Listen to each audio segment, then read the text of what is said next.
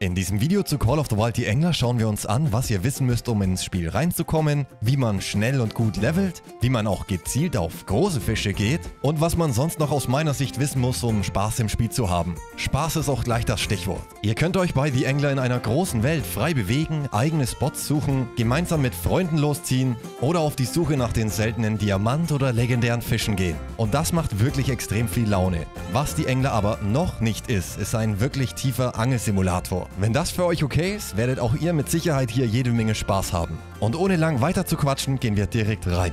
Hey Angelfreunde, willkommen nochmal zu dem Guide hier für die Engler. Wir werden uns heute so alle Punkte anschauen, die aus meiner Sicht oder mir persönlich am Anfang gefehlt haben. Welches Setup, wo gibt es Fische, wie funktioniert das mit den Ködern und so weiter. Es gibt auch ein paar Punkte, die aber, würde ich sagen, selbsterklärend sind. Da schauen wir jetzt nicht im Detail drauf ein, sonst würde das Video ewig lange werden. Es ist gut, dass man es weiß, dass hier sowas wie ein schwarzes Brett existiert, wo man sich Missionen, Tutorials und so weiter abholen kann. Die sind aber ziemlich selbsterklärend. Man kriegt natürlich auch EP und Kohle dafür, also das ist auf jeden Fall nicht verkehrt. Wir schauen uns aber jetzt, wie gesagt, so ein paar andere Details an, die für mich im Anfang eben so ein paar Fragezeichen in den Kopf geworfen haben.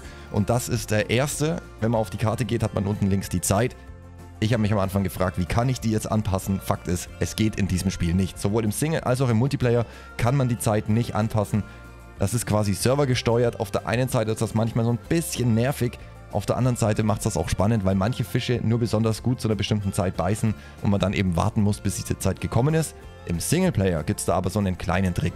Wenn ihr im Singleplayer unterwegs seid und es Richtung Nacht geht, ihr aber einfach keine Lust habt, im Dunkeln zu angeln, könnt ihr das Spiel einfach neu starten. Die Zeit wird dann im Singleplayer immer automatisch auf mittags zurückgesetzt.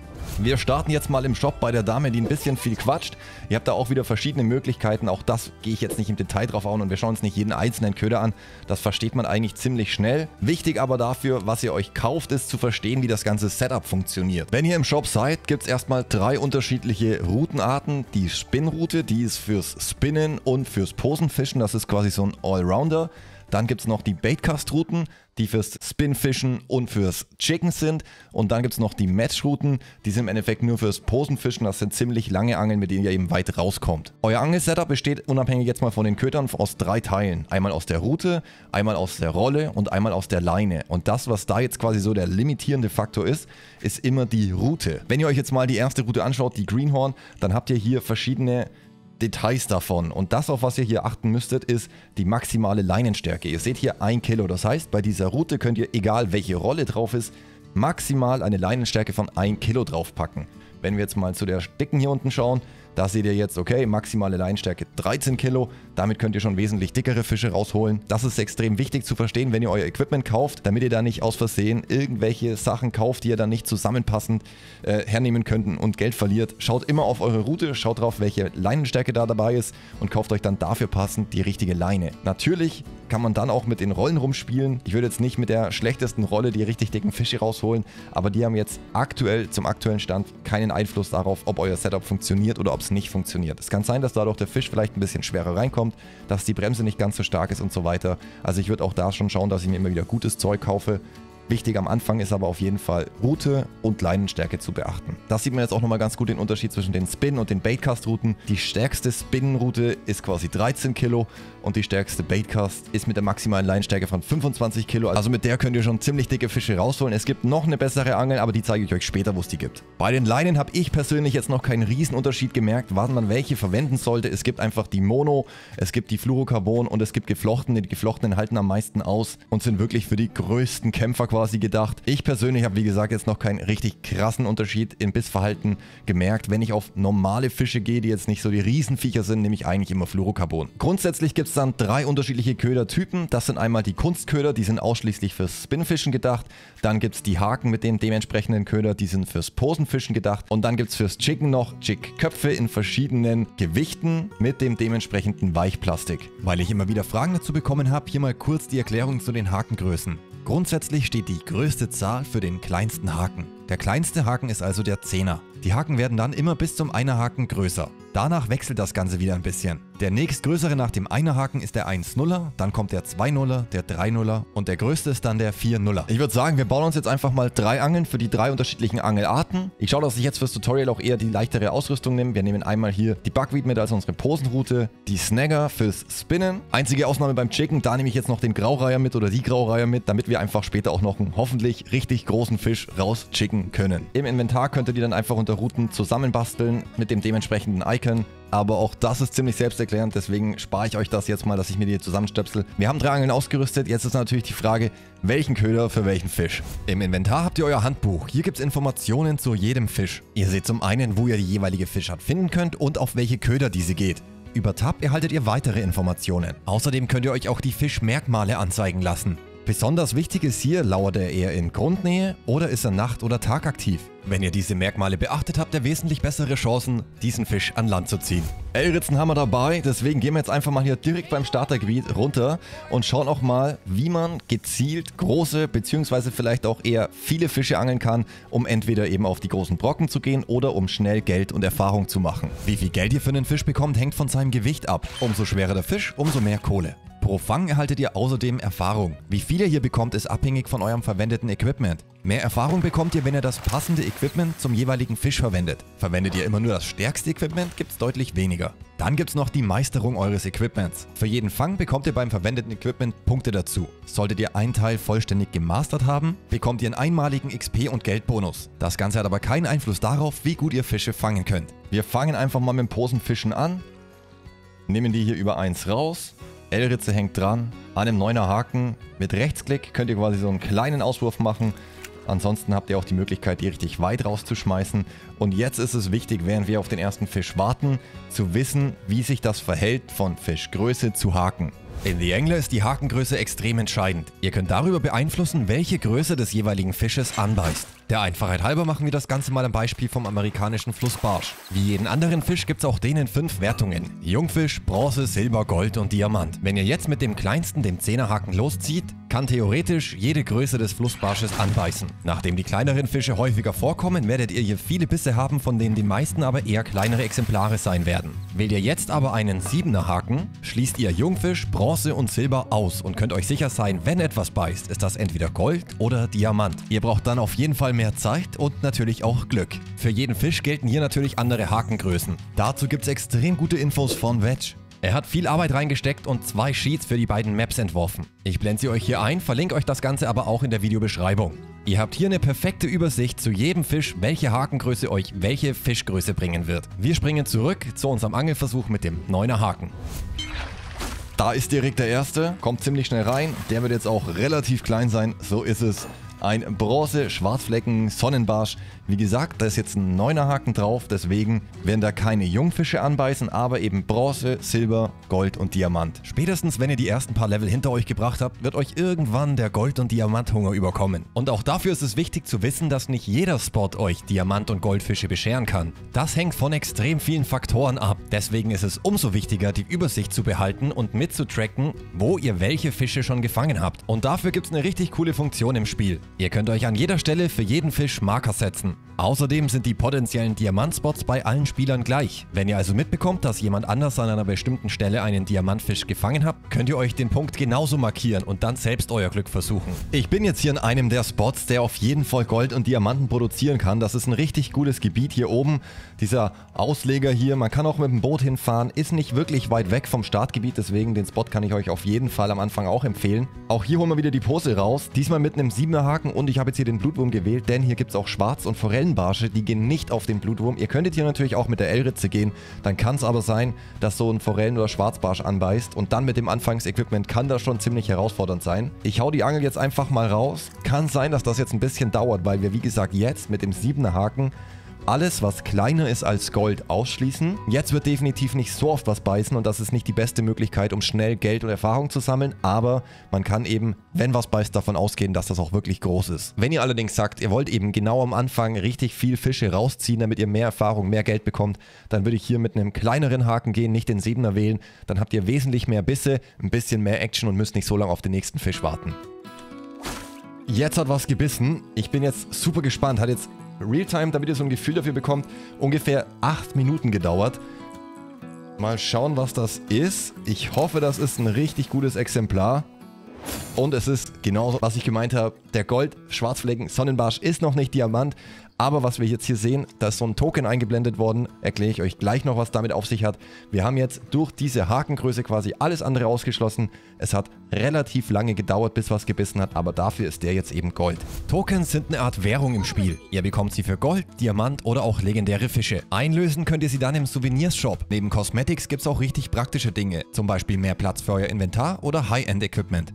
Die grünen Sterne stehen übrigens für euren Ruf oder euer Ansehen. Die könnt ihr einsammeln, wenn ihr Missionen macht. Wie zu vermuten bekommt man die legendären Tokens von den legendären Fischen. Auf den beiden Karten gibt es aktuell je drei legendäre. Die wechseln sich wöchentlich ab und gehen immer von Donnerstag bis Dienstag. Wo genau ihr den jeweiligen legendären findet, ist immer leicht unterschiedlich. Allerdings sind die Gewässer, wo man ihn finden kann, immer dieselben. Achtung, Spoiler! Ich blende euch jetzt gleich mal die Spots vom Golden Ridge Reserve ein, wo bisher dort die legendären Fische gefunden wurden. Ob ein legendärer Fisch gerade aktiv ist, seht ihr, wenn ihr die jeweilige Map betretet. Ich bin selber noch auf der Diamantsuche. Ich würde sagen, wenn wir schon mal hier sind, ich schmeiß noch einmal raus. Ich hoffe, wir sehen uns gleich wieder mit einem noch etwas größeren Biss. Hat wieder was gebissen. Mal schauen. Auch das hat jetzt wieder, ja, ich würde mal sagen, 10 Minuten gedauert.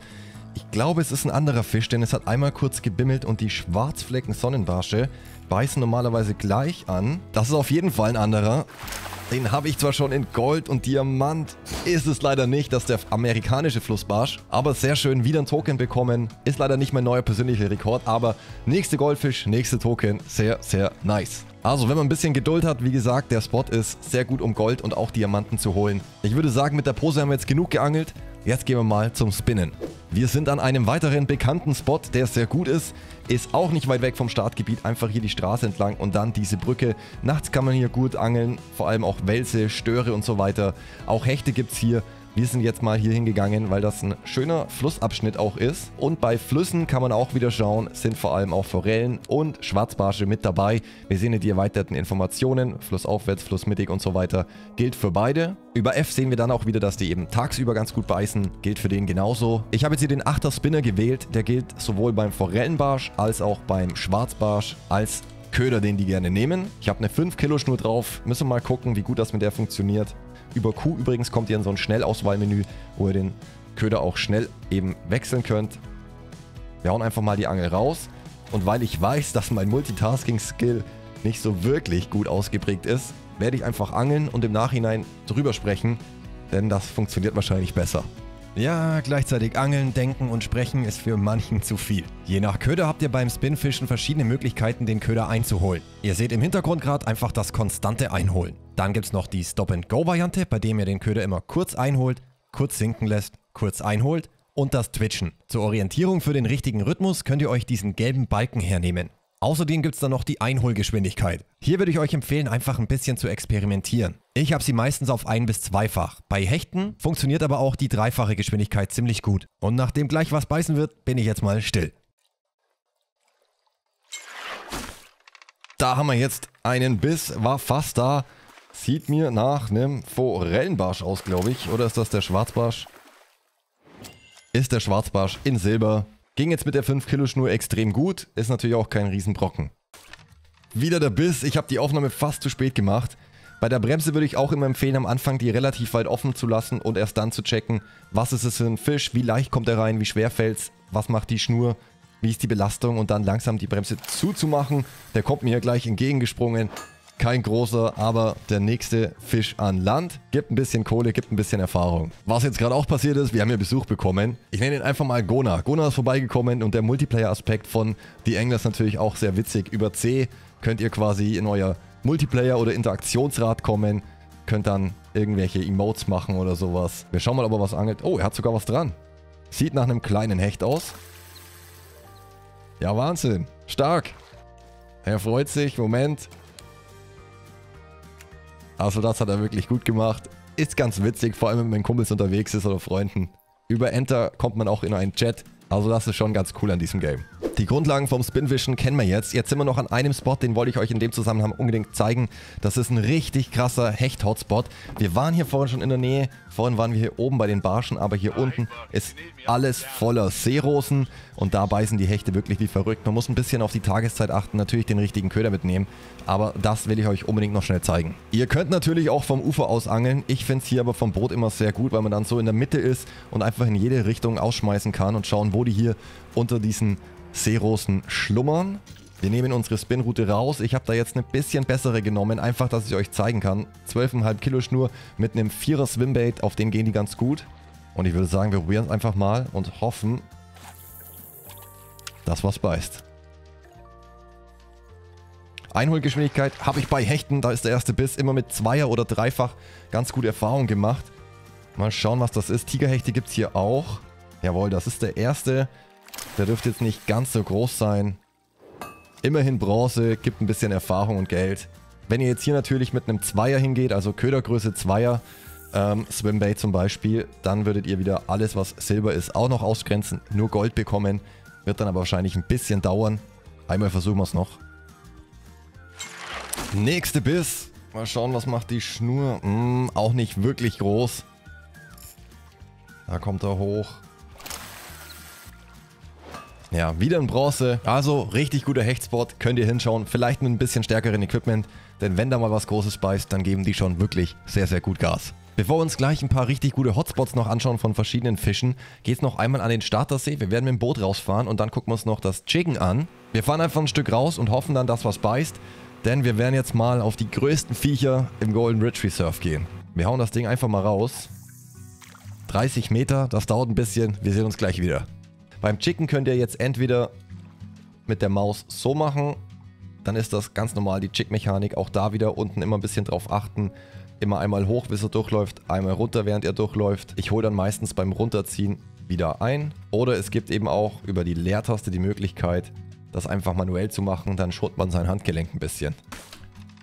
Da ist der erste Biss dran. Irgendwas ist hier aber gerade ein bisschen buggy. Das muss über dieses automatische Chicken gekommen sein. Denn ich habe hier irgendwie zu viel Arm im Bild. Da kommt sie hoch. Ja, ist schon nicht so verkehrt. Hat jetzt aber auch nicht so richtig krass gekämpft. Geht größer, Bronze. Komm, wir holen da noch einen größeren jetzt raus. Da haben wir nochmal einen. Mal schauen, was die Schnur macht. Nicht wirklich groß. Wir müssen mal schauen, vielleicht ist das sogar ein anderer Fisch. Kommt mir jetzt gerade sehr leicht vor. Na. Ja, ist tatsächlich ein Hecht. Also auch die gehen da drauf. Kann natürlich mal vorkommen, dass so einer beißt, nur in Bronze. Aber an sich ist das Chicken für diese Lake Trouts schon eine richtig gute Sache. Grundlagen vom Chicken haben wir jetzt ohnehin gesehen. Ich würde sagen, wir schauen uns jetzt gleich den ersten Hotspot für Seesaiblinge an und holen hoffentlich auch eine raus. Man findet die natürlich an vielen Seen, aber gerade der und der sind bei mir extrem gut. Da habe ich wirklich schon viele rausgeholt. Ich hoffe, das klappt jetzt. Wenn nicht, ist der klassische Vorführeffekt. Aber wird schon irgendwie gehen. So, ich würde sagen, das reicht. Wir hauen unseren Köder mal raus. 35 Meter, auch recht tief. Bis gleich. Jawohl, das müsste jetzt aber eines sein. Zieht auch schon ein bisschen mehr. Wahrscheinlich auch kein Monster. Aber hat dafür nicht lang gedauert. Bei denen merkt ihr es ganz schnell, wenn da wirklich was Großes dran hängt. Da sehen wir sie. Machen schon wirklich was her, wenn sie da so auftauchen. Wieder nicht besonders groß. 3,4 Kilo, 61 Zentimeter. Über Tab könnt ihr übrigens das Bild wechseln. Einer geht noch.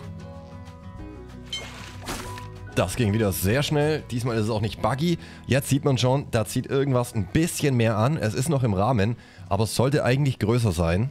Ja, könnte vielleicht sogar Silber sein. Wir müssten den Fisch eigentlich gleich sehen. Gibt gerade noch mal ein bisschen Gas. Da ist er. Ja, wirkt auf jeden Fall größer. Holy. Könnte ein Silber sein. Wir schauen mal. Oh ja, kämpft noch mal ein bisschen. Na komm. Jetzt haben wir ihn. Hat ein bisschen gedauert und man sieht, ist ein Silber. Ist nur ein Silber, aber ihr seht, wie groß der schon ist. Also, ich habe noch keinen Diamant gefangen, aber ein Gold und der war wirklich extrem groß. Macht super viel Spaß, auf die zu gehen. Wie gesagt, Chicken funktioniert bei mir wirklich gut. Man kann ihn natürlich auch mit anderen Ködern holen. Einfach den Blinker, Spinner, Wobbler und so weiter geht alles. Und der hatte damals 15 Kilo. Das echt ganz schöne Brocken. Ein Spot, der bei mir für Lachse gut funktioniert hat, ist östlich vom Startgebiet. Neben den Lachsen könnt ihr auch Forellen finden. Und auch die sind gerade zu Beginn richtig gut. Ich habe die Lachse hier eigentlich überall schon rausgezogen, da oben, hier unten, aber besonders gut gefällt mir der kleine See. Ich habe dabei jetzt mal einen Wobbler Größe 8. Damit müsste alles beißen, außer Jungfisch. Wir hauen ihn einfach mal rein. Ich hoffe, es ist noch nicht zu spät. Ich hoffe, die beißen noch. Wird langsam etwas dunkler. Aber wir probieren es einfach mal. Wobbler ist ja durch seine Bauweise quasi genau andersrum als so normale... Da ist der erste Biss. Normale Köder, der ist so gebaut, dass er beim Einholen nach unten eintaucht und tiefer sinkt. Also nicht wundern. Mal schauen, was hier dran ist. Hier gibt es auch ein paar Forellenarten. Bin gespannt, ob es jetzt ein Lachs ist. Ich habe eine 5 Kilo Schnur drauf. Lässt sich ganz gut reinholen. War definitiv kein Lachs. Ich habe nicht genau gesehen, war das eine Ohrrid oder so? Naja, das ist ein ist ein Bachsaibling. Ich wollte es gerade sagen.